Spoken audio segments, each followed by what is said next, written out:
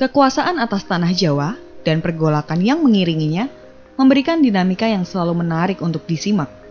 Kerajaan Mataram dan segenap unsur pendukungnya mengalami itu. Pasang surut politik dan ekonomi yang terjadi justru mengarah pada kemajuan dan pencapaian-pencapaian yang mengagumkan. Deretan bata merah di Kartosuro yang masih tersisa adalah saksi. Awal berkembangnya Mataram Islam untuk tumbuh membesar setelah perjanjian Giyanti dan Salatiga, walaupun konflik berkali-kali mendera penguasa tanah Jawa.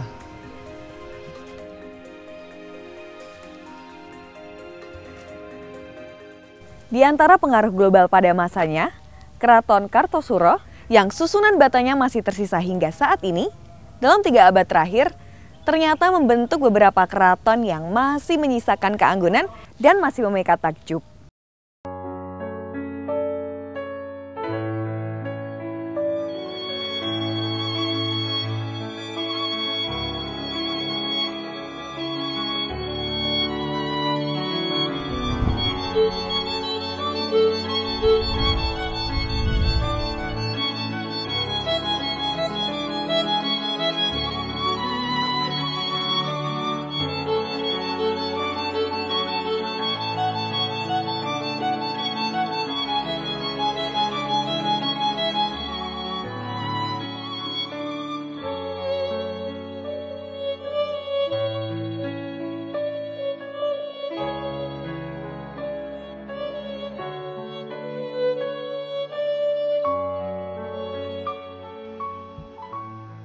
Setelah pertempuran-pertempuran yang melelahkan kala VOC menguasai Indonesia, di bagian akhir berdirilah Kadipaten Mangkunegaran. Melengkapi keberadaan Keraton Kasunanan dan dua keraton di Yogyakarta yang lebih dulu berdiri.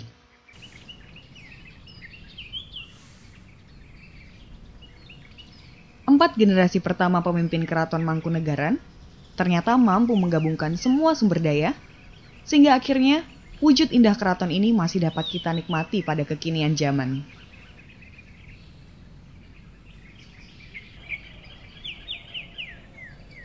Memasuki pendopo ini, kita akan merasakan hawa sejuk dan tenang.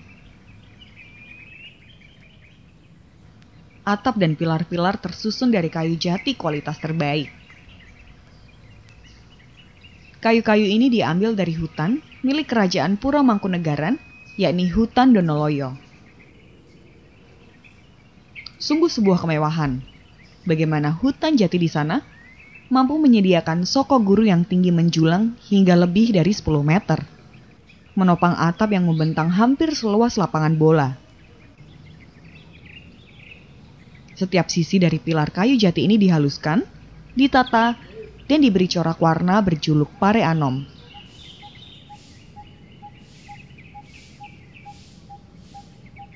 Lampu-lampu gantung buatan Eropa dengan berat puluhan kilogram terpanjang kuat pada langit-langit yang sangat kokoh. Sebuah pencapaian konstruksi yang sulit ditiru di era ini. Pada beberapa pertemuan konstruksi kayu, masing-masing dikuatkan dengan prinsip segitiga pengunci, sebuah model penyambung yang terbukti kuat dan masih digunakan dalam perakitan sasis pesawat terbang modern. Itulah mengapa pendopo ini masih tegak berdiri secara asimetris walau bertonton material dan hiasan menggantung di atasnya.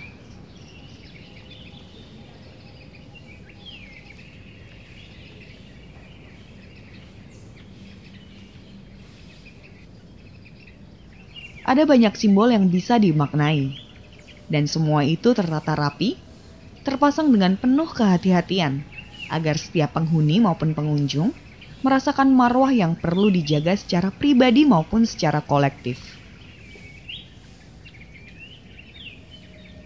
Melebihi rumah rakyat kebanyakan. Aneka hiasan dan simbol tidak hanya terhampar di dinding maupun lantai, namun juga memenuhi langit-langit. Dan bukan sekedar menggunakan material fabrikasi yang nisbi sentuhan manusia, atap keraton Mangkunegaran berhiaskan lukisan geometris dari seorang perupa yang merangkum sekian banyak simbol. Langit-langit pendopo ageng Puro Mangkunegaran dihiasi lukisan Kumudowati. Terbagi dalam delapan bidang, masing-masing berisi warna-warna filosofis Jawa. senjata para dewa pewayangan, dan zodiak kosmologi Jawa. Saya sangat kagum bagaimana lukisan sehalus ini bisa ditempelkan di ketinggian dan bertahan selama berabad-abad tanpa pudar warnanya. Di tempat bernama Pendopo Ageng, para pengunjung harus melepas alas kaki guna menjaga kebersihan tempat ini.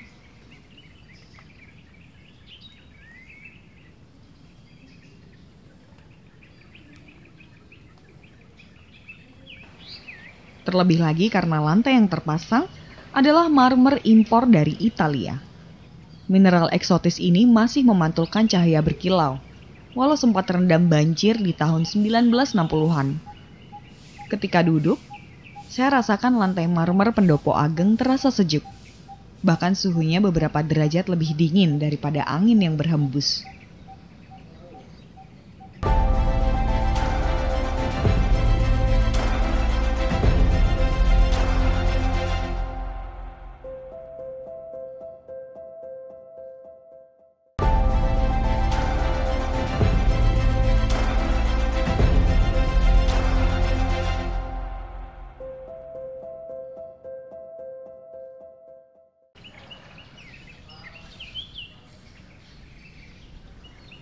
Puro Mangkunegara terletak di pusat kota Solo dan melengkapi dirinya dengan bangsal-bangsal agung untuk menampung semua aktivitas kebudayaan.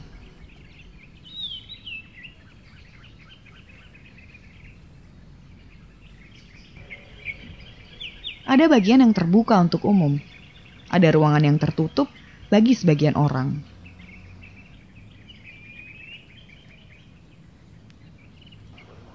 Selepas pendopo ageng, ada wilayah Paringgitan.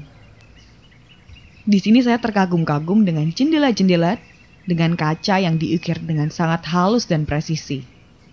Walaupun kini ada teknik sandblasting untuk membuatnya, jelas menciptakan hiasan rumit seperti ini di awal abad 19 adalah sesuatu yang mencengangkan.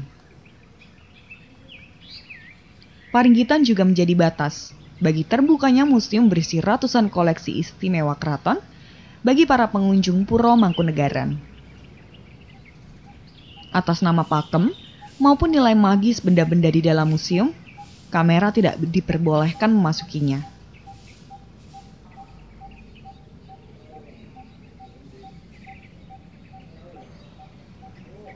Selepas dari museum, seorang pemandu keraton bernama Bu Mariati menemani saya di wilayah Keputren, sebuah bagian dari dalam Ageng kediaman keluarga raja.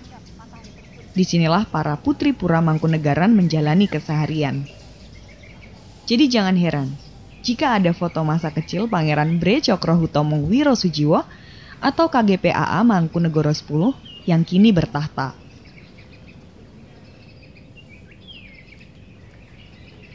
Menyesuaikan iklim tropis, Thomas Carsten, sang arsitek yang dipilih oleh Mangkunegoro IV untuk menyempurnakan istananya, membuat teritisan di sekeliling bangunan utama untuk menciptakan naungan teduh di kediaman raja.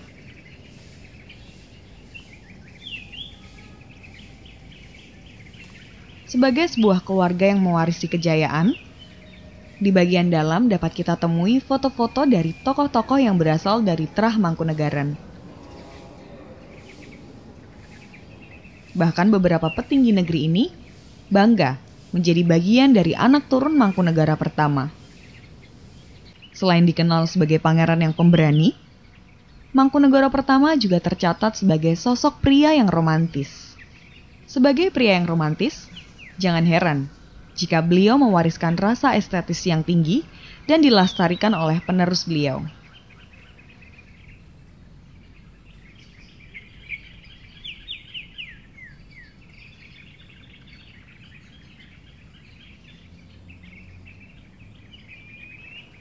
Sebuah kehormatan bagi saya, diizinkan memasuki ruang-ruang privat di Balai Warni. Area makan keluarga kerajaan semakin membuat saya takjub. Jendela berhiaskan kaca pater yang sedemikian indah, berisikan karya seni yang sedemikian rumit, sekaligus meredam cahaya berlebih dari alam tropis. Menebarkan kehangatan yang pasti menambah selera makan.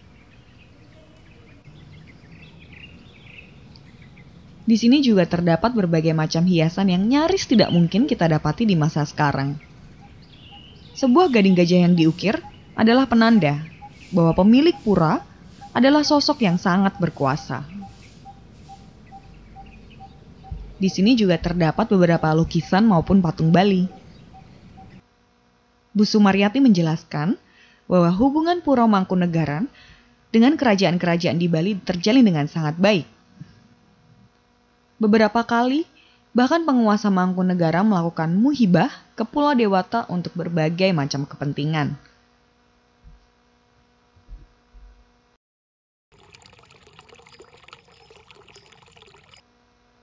Saya sempat terkejut ketika langkah kaki menuntun saya lebih ke dalam saya melihat Kanjeng Gusti Pangeran Adipati Aryo Mangkunegoro X, penguasa Puro Mangkunegaran terkini sedang melakukan rapat. Untung beliau tidak marah. Dan Mas Rio, Haryo dan Nanjoyo yang mendampingi justru akan memberikan waktu bagi saya untuk sedikit berbicara dengan Mangkunegoro X mengenai konsep kepemimpinan beliau di keraton yang cantik ini.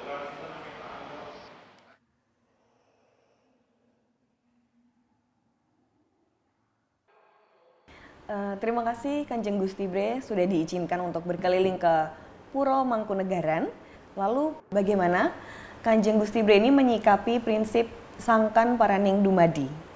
Oh ya, jadi ya menurut saya di sini yang kita harus lakukan ya, baik Mangkunegaran maupun saya sebagai seorang pribadi itu adalah untuk bisa menjunjung eh, nilai-nilai uh, luhur yang um, tumbuh dan berkembang di Mangkunegaran. Iya. Mangkunegaran sendiri saat ini kami bertanggung jawab berperan sebagai suatu penjaga kebudayaan yang merawat kebudayaan dan tentu harapannya ke depannya kami bisa mengembangkan kebudayaan. Namun yang paling penting dari itu semua adalah bahwa kita tetap memegang teguh nilai-nilai luhur, uh, ajaran-ajaran, tradisi, adat yang sudah lahir di Mangkunegaran dan masih ada di Mangkunegaran hingga saat ini.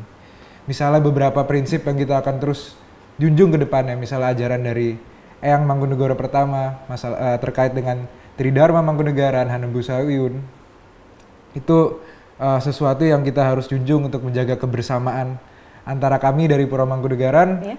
dengan keluarga, dengan kerabat, dengan para abdi dalam, dengan masyarakat luas bahkan gitu.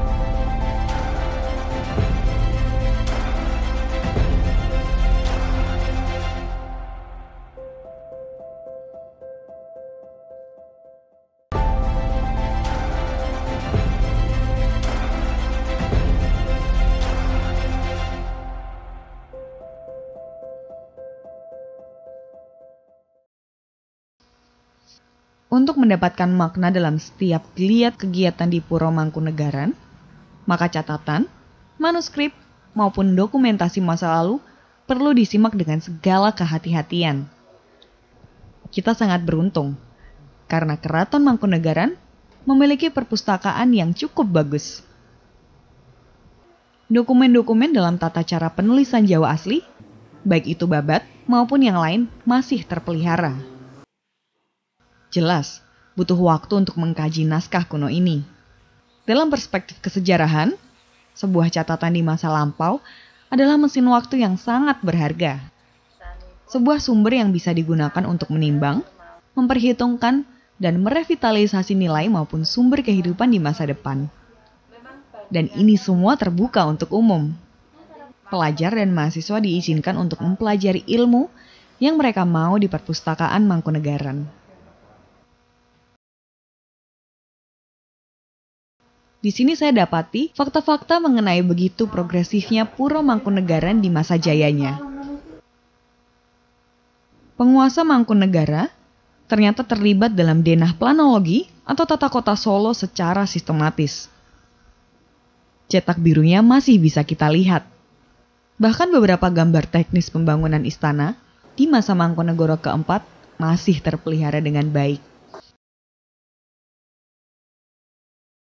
dalam hobi membaca saya, mungkin saya akan betah berhari-hari mengulik aneka buku di Puro Mangkunegaran yang menjelaskan berbagai macam konsep modernisasi di awal abad 20.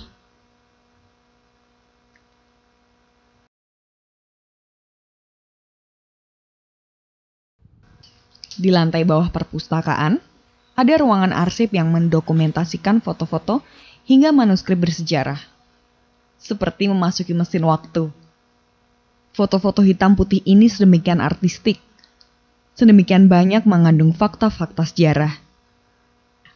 Ada keinginan untuk melakukan reproduksi dan menjadikan foto-foto ini hiasan di ruangan belajar. Tapi saya yakin, ini belum saatnya untuk meminta sesuatu yang lebih. Manakala, status saya adalah pengunjung biasa.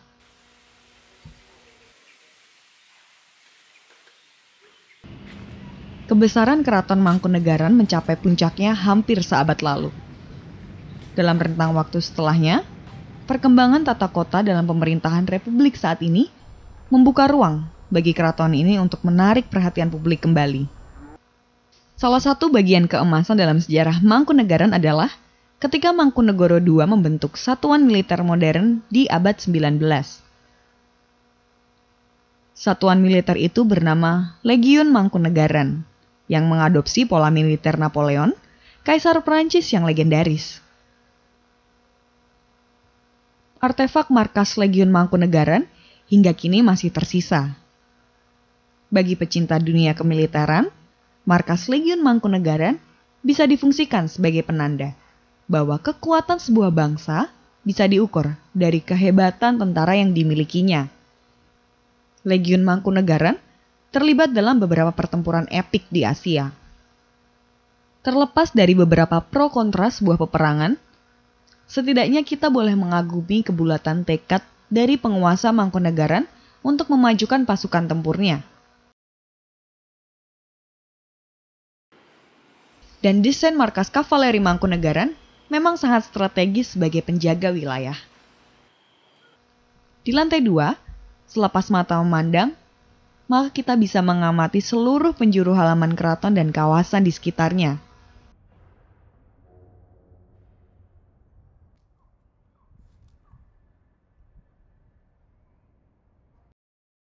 Di sisi belakang markas Legion, tempat yang dulu menjadi barak prajurit dialihfungsikan sebagai kediaman abdi dalam.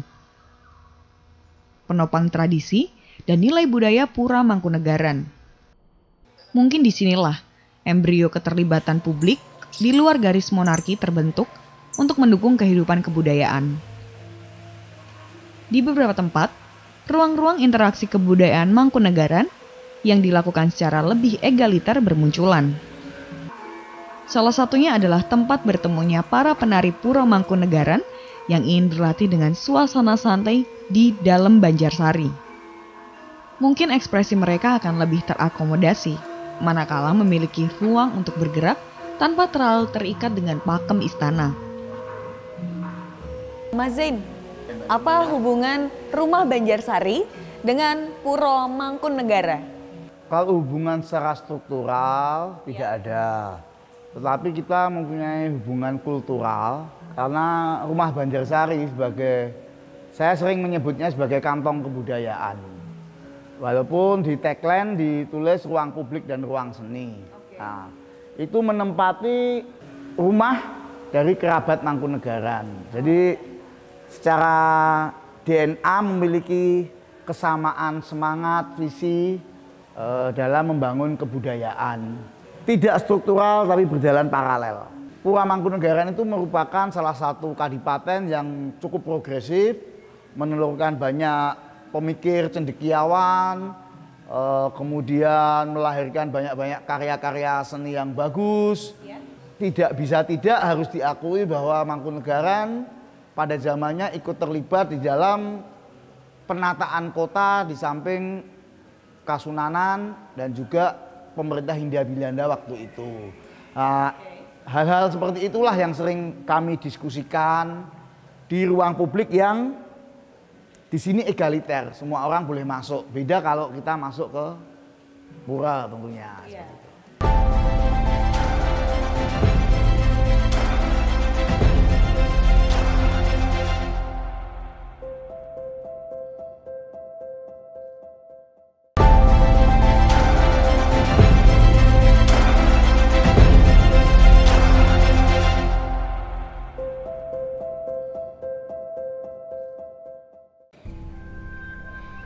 Material terbaik yang tertata dengan penuh perhitungan menjadikan semua hal yang terdapat di Puro Mangkunegaran adalah standar tertinggi dalam kehidupan nyata manusia.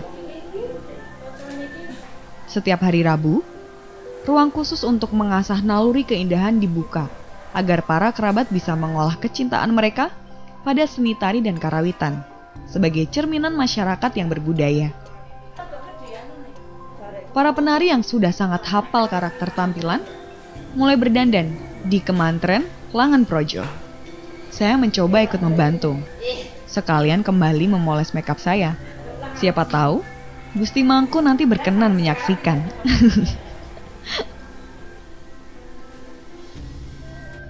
Para penari tampak sangat bahagia ketika seorang perempuan sepuh yang menjadi guru besar dalam pentas kesenian ini berkenan hadir. Sanggar Seni Suryo Sumirat hingga hari ini dikenal dengan kemampuannya menghadirkan tarian halus yang membius sukma. Gerakan pelan dan lembut adalah cerminan dari kemampuan olah tubuh dan rasa yang luar biasa. Tarian-tarian berdurasi panjang membuat kita seolah melihat dunia yang bergerak dalam rekaman slow motion. Bagi para penari, kekuatan kaki, tubuh, tangan, dan kepala adalah ujian fisik yang tidak mudah. Kali ini saya dimuliakan untuk menyaksikan tari Golek Montro karya Kanjeng Gusti Pangeran Adipati Aryo Mangkunegoro VII. Tarian sepanjang hampir 30 menit ini bercerita tentang gadis-gadis keraton yang beranjak dewasa, yang mulai gemar berhias dan mempercantik diri untuk menyambut tamu ageng kerajaan. Sepenuhnya gerakan tarian ini gemulai dan dalam ritme yang lambat. Mereka menarikannya dengan wajah yang selalu tersenyum. Sangat membahagiakan.